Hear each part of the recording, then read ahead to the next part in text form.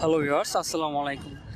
আজকে আপনাদের দেখা যাচ্ছে কীভাবে আপনার বিকাশ অ্যাকাউন্টে আপনার ব্যাঙ্ক অ্যাকাউন্ট মাস্টার কার্ড অথবা ভিসা কার্ড অ্যাড করবেন। তো সরাসরি আপনারা চলে যাবেন বিকাশ অ্যাকাউন্টে অবশ্যই আপনার ডাটা কালেকশন টিপো। তো আমি বিকাশ অ্যাকাউন্টে চলে যাচ্ছি। প্রসেসটি প্রথম থেকে দেখায় তাহলে আপনারা বুঝতে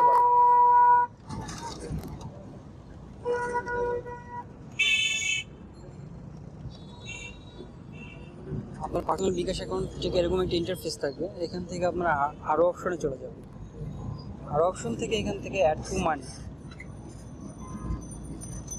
add to money থেকে যদি আপনি বিকাশ ব্যাংক টু বিকাশ করতে চান, তাহলে এটা করার জন্য। আর যদি আপনি আপনার মাস্টার কার্ড বা ভিসা কার্ড করতে চান, তাহলে কার্ড টু বিকাশ। আপনি কার্ড টু বিকাশে সিলেক্ট করে দেবেন। এখান থেকে আপনারা দুইটা প্রসেসে কার্ড ব্যবহার করতে পারবেন। একটি মাস্টার কার্ড একটি ভিসা কার্ড মাস্টার কার্ড একটি ভিসা কার্ড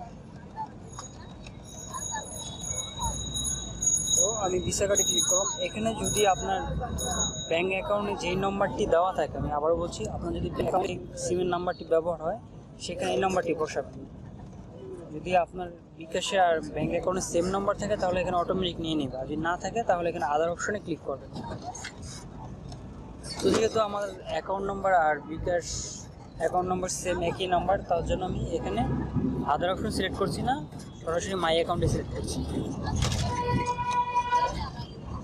তো নিচে আপনার অ্যামাউন্ট এখানে আপনার কত টাকা অ্যামাউন্ট দিবেন সেটা আপনার সিলেক্ট করে দেবেন তো আপনার অ্যাকাউন্ট থেকে আপনি কত টাকা নেবেন? এক্সাম্পল আপনার দেখানোর সাথে আমি পঞ্চাশ টাকা দিচ্ছি। দেখুন ম্যাক্সিমাম পঞ্চাশ টাকার নিচে উঠাতে পারবেন না এখান। থেকে তো এখান থেকে প্রসেসে আমি ক্লিক করছি প্রসেসিং এখানে একটা লেগেছে this limit please check your bKash menu এর আগে আমি পঞ্চাশ টাকা উঠেছি তার জন্য তারা আমাকে পঞ্চাশ টাকা উঠাতে দিবে না, একটা লিমিট আছে তার তো আমি দেখানোর সাথে একশো টাকা দিচ্ছি। সরি এক হাজার টাকা দিচ্ছি। তো এখানে যদি আপনার কার্ড যদি থেকে থাকে, তাহলে অটোমেটিক কার্ডটি নিয়ে নিবে। আর যদি কার্ড না থাকে, তাহলে এর থেকে add to my from new card select করে যখন অ্যাকাউন্ট নাম্বার আছে এটা তো এখানে কার্ড নাম্বারটি আছে আমি রিমুভ করে দিচ্ছি আপনাদের দেখানোর সাথে তো এখন আমি নতুন করে আমার কার্ড নাম্বারটি অ্যাড করব এখানে।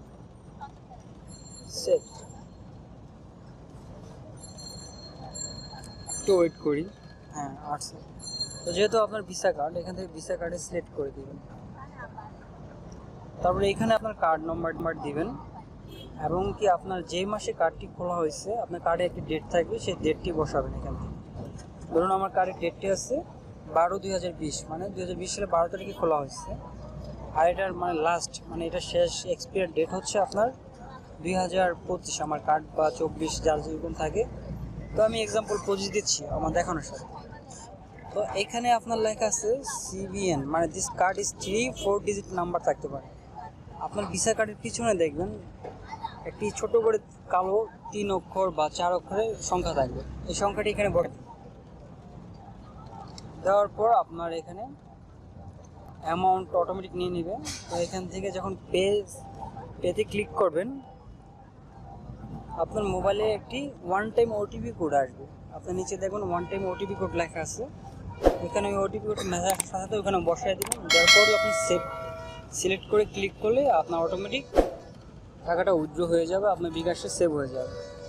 আর এখান থেকে আপনি খুব সহজেই রিসিভ বিকাশ থেকে টাকা কাটটু বিকাশ রিটার্ন করতে পারবেন। আশা করি বুঝতে পারছেন, আর যদি কারোর সমস্যা হয়, তাহলে কমেন্ট বক্সে কমেন্ট করবেন, অবশ্যই আপনাদের বোঝা দেবেন ভিডিওটি দেখার জন্য ধন্যবাদ চ্যানেলটিকে সাবস্ক্রাইব করুন।